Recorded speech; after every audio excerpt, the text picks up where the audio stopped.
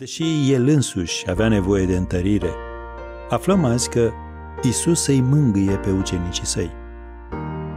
Pentru cazurile de urgență există anumite mesaje.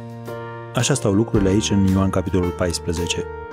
Acest capitol a reușit să atenueze șocul pentru milioane de credincioși până în ziua de azi. Isus spune aici chiar de la început să nu vi se tulbure inima.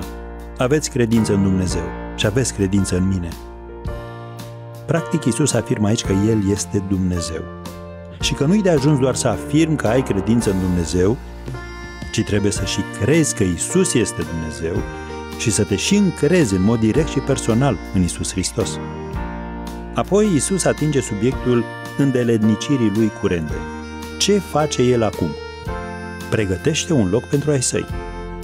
Odată ce va fi gata, la momentul hotărât de Sfânta Trăime, îi va aduce pe toți ai săi la oaltă.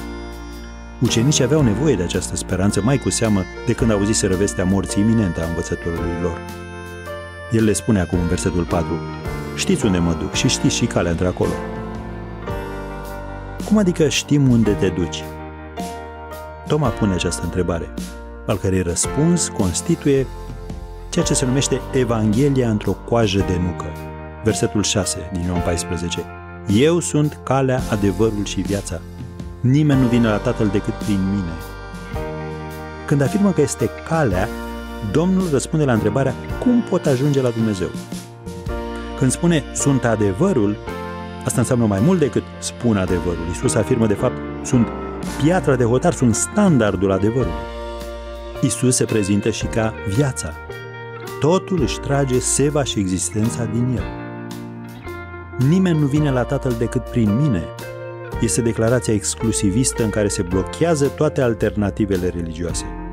Singura cale prin care ajungi la Dumnezeu este Isus Hristos. Este momentul cel mai bun să te întrebi, dragul meu prieten. Îl cunoști tu pe Isus? Te încrezi în El ca mântuitor personal și nimic altceva? Numai El te poate salva. Când te rogi în numele Lui Isus, practic te rogi ca El să fie lăudat și înălțat.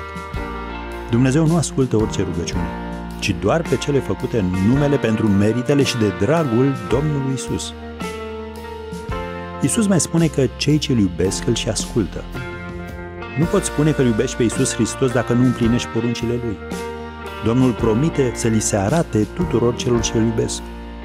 Nu e o promisiune extraordinară? Și fiind pe picior de plecare, Isus promite că Dumnezeu le va trimite un ajutor, în persoana Duhului Sfânt care să trăiască în ei. Pe măsură ce această ultimă conversație cu ucenicii săi se apropie de sfârșit, Domnul Isus le spune în versetul 27 din Ioan 14, Vă las pacea, vă dau pacea mea. Iată ce li se asigură celor ce se abandonează total în mâna Domnului. Pacea Lui, cea minunată, glorioasă, unică. Și cu aceste cuvinte Isus se îndreaptă hotărât spre grădina Ghețimani pentru confruntarea cu Satan. Și după ce va câștiga și această bătălie, va merge la cruce ca să moară pentru păcatele întregii lumi și astfel va fi posibil ca Duhul Sfânt să vină în lume.